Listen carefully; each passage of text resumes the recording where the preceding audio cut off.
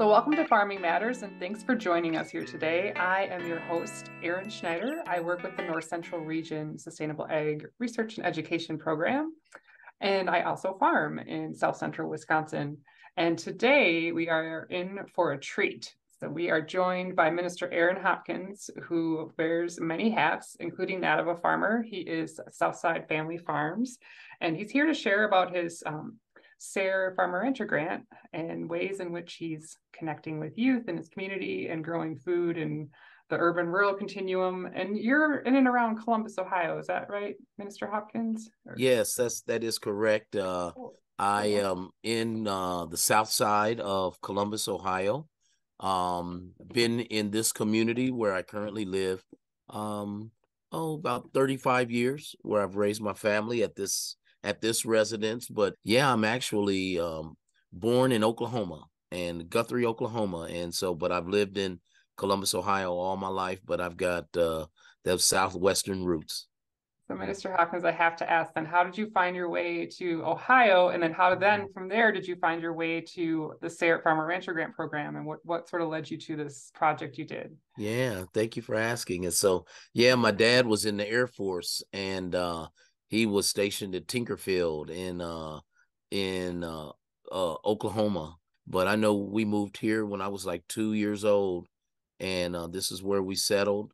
And um, my dad actually retired out of the Air Force at Newark, Newark Air Force Base, which was uh very close to actually where I do farm in my rural, you know, where I uh, uh, applied for the SARE grant to to do that work in that rural community uh, Newark is very much in that that area. Most of the time in my community, um, farming or working in the soil and doing that type of work is associated with enslavement, and so it has a negative context context, you know, that is associated with it. And mm-hmm. so, um, even in my community, I know because I was a Boy Scouts, I was in the Boy Scouts, um, and read boys' life books I'd always see about 4-H, but 4-H mm. was never present in my community. Uh, the South Side um, um, uh, has always been a challenged portion of of Columbus. You know, they used to go, is it the South End? And we said, no, that's this is not the end of things. This is the South Side, and there's uh the borders are far reaching on the South Side, and um, but you know, it it is always um been a place of a diverse community, um, a community that even where I live, we are considered a food desert. That uh, the the local grocery store is more than two miles, and so there the, the food deserts are large, and so we end up with a lot of um, corner stores, a lot of corner stores. Uh, that do not sell healthy uh, fruits and vegetables. Fresh food access is a challenge, um, as well as some other barriers. And, you know, so even through our church, uh, where I attend, Family Missionary Baptist Church, we started learning this thing about sustainable ag and wanting to teach these young people that had no clue that um, they had family that were farmers. Mm. Uh, we started out building garden beds uh, for grandmothers in the community, um, garden beds and fences, uh, because there was a big disconnect between the seniors and the youth in this community, and we wanted to connect them where these youth could begin to hear the stories of grandma, you know, and what grandpa did, and this is the way we used to do it, and that they would understand where their food came from. And that was the beginning of the story. And I did not know that story about you know i didn't even realize that i lived in a food desert um and that people had barriers to fresh food access and so that's where um the, it really started and wanting youth to understand in our community some of these barriers.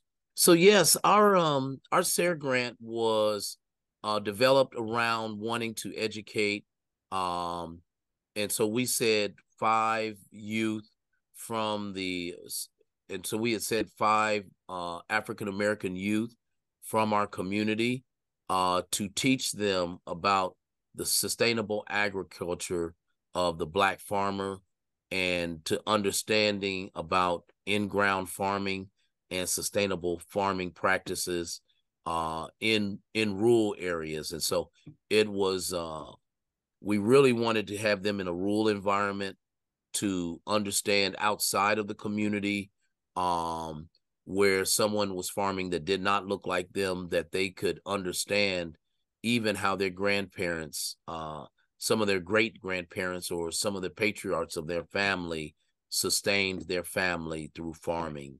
And uh, we wanted to help them understand that and doing it uh, in a sustainable way, uh, you know, with uh, cover crops and, uh, you know, drip drip irrigation, uh, no-till practices. What was that like um, experiencing that transformation through the youth eyes as well to like the people with this project? They were very receptive to it and um, we've been having fun with it and uh, they worked at farm stand and so we because that's part of our SARE project is we also taught them marketing and merchandising and understanding sustainability from the other end you know mm-hmm. how are you going to sustain your farm you know uh doing a crop plan and understanding the thing about crop rotation and building markets that is actually chase that's one of my grandsons uh and so uh he was out there before we started in the SARE project and farming with Pop Pop. And so he was out there when we got those put up by Yoder. And um, so these are some of the seedlings that we grow. We grow pretty much, I'd say 75, 75% of our production is seedlings that we've grown. Um, these are some of the youth from our SARE project. Um, and uh, they came from Columbus Alternative High School. They weren't the high school that we had identified in the grant, but uh, they were doing an internship there from from COS is what that's called. And so these two young men have gone on to college. And so the one is at OU and he wants to be uh, an agricultural engineer. And uh, the other one is electrical engineer. And the young lady, um, the young lady, uh, Jada is, um, she's in college at Columbus State. And so they were all three part of our SARE project. And this is one of our land bank properties. Uh, there's actually a uh, high tunnel on this property, but you're looking uh, west, and it is on the east side, and that's Jerry, my right hand man.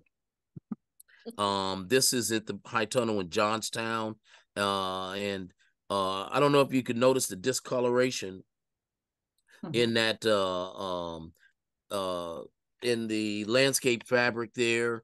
Uh, we got a lot of high, lot of water in these uh in the high tunnels and so that was a challenge from the re- heavy rain events this mm-hmm. high tunnel would uh would flood and so i don't know is my cursor showing me doing yeah. that mm-hmm. and so you can see how compacted this soil looks right here and it it was this stuff and so it's heavy clay out there we did not we didn't understand that it was heavy clay and then how do we amend it and so um, those are some of the things that we were talking to the youth and we were learning together. Um, looks like we got some seeds we put in there. Oh, I know what that was. That was the first time we, I think that was, uh, I don't know if that's the first time we used a uh, seeder. So uh, we did have a project where we used a, um, uh, it wasn't the, uh, wasn't the expensive one. We got one now, um, but th- we did that with an Earthway and so uh, we we helped them learn about using a, a earthway seeder and even burning these holes and so uh, the youth got to experience this and why using the agricultural land you know the fabric and for weed uh, they quickly like oh we need fabric now. you know uh, they that weeding they weren't real up on that weeding and uh, uh, so this is the backside of Miss Julia Lynn Walker.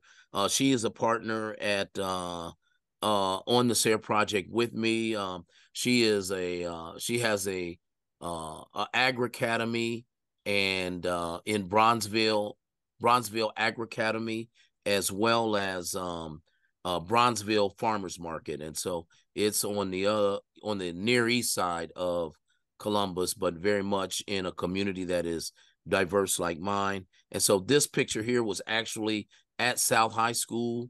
Uh, and so you see at this time the students, you know, it was facial protection 100%. And uh, so uh, we were there engaging, uh, engaging the youth. Beautiful. And so uh, I see some of them. So this may have been like the next year because they I see they don't all have them. But when we made inroads into the high school, these are eighth graders. Um, yeah, they did have um, they did have uh, masks, and so this is another one of our. This is our first um, our first uh, land bank property. Um, you can see this is much our little learning pavilion and you can kind of see through the fence here is some benches. And mm-hmm. you remember I said about green spaces being places for conversations. Well, before any of that stuff get got there and all of these beds, this is like six years of uh, keep adding on. Um, we used to have mother grandmothers come and they would sit on the bench and we would tell the stories. And so this photo is actually out of a project uh, Columbus College of Art and Design is doing wayfinding for us. Mm-hmm. And so this is just uh, one of the presentations they made, but that is not the one we going with. And so actually this weekend, we will be inciting, we will be installing the first of our wayfinding signage from out of a 614 beautification grant that is providing wayfinding. Uh, we have like four of these, five of these spaces within one block of each other in our community, including I've got pictures of our farm stand. This is this is a rendering of our farm stand. Um, and so I do have pictures of it up, but this is a rendering. Uh, that farm stand is on some commercial property that is owned by the Grote family of Donatos. And so the Donatos, uh, first Donatos was on that land, it's still there on Thurman Avenue. And so they are great partners in our work. Uh, I believe these were the these were the students that did that with CCAD, and uh, these were the designers of that project. So I threw them on there. This is another uh, out at Johnstown, and uh, this is uh, we we learned how to take a BCS uh, tiller and to form these beds and uh, form these beds. Uh, um, I tilled the heck out of them the first year. I didn't, you know, we were doing tilling and I took that BCS and I did a whole video talking about how loamy. I said, Oh, look at this. This is wonderful. Yeah, yeah. And we came back out that next spring after the winter and all that water, and it was just standing mm-hmm. and it was like soupy mud, and you would sink, and it was so much clay. And and so that summer it turned those beds into like concrete. And yeah. that's when we really started understanding you know, about no till and over tilling and soil amending and organic material. And so I think that's what we are doing here is preparing to add organic material to those beds. And so there are pictures where we're doing this. This is another one of our inner city gardens. Uh, this is a healing garden.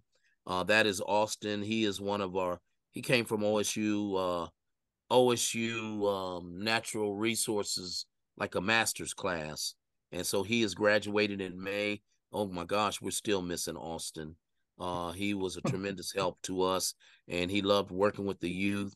Um, there's Ethan and um, Wyatt again. Uh, that is organic material that we got uh, from Scotts, donated from Scotts Miracle-Gro. Uh, that's Jada again. And she's kind of bashful and there's austin working this is this is that same first garden um looking at it from inside the garden here's that learning pavilion uh we have a small wash and pack here um everything grown in raised beds because there was a house there and these houses um uh were built pre 1960 and so they have lead paint mm. and uh so uh, everything grown in these urban farms, you grow them in. Um, it's recommended to have eight to twelve inches of soil, and so we usually strove for fourteen inches. Um, uh, this picture is old enough. Well, no, Austin was here.